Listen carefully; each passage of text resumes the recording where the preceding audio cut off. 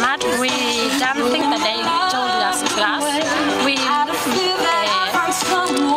made goals that was the first objective that they, they gave us to us. So we are very happy. Great. Um, how are you going to go from this success into the next game? Well,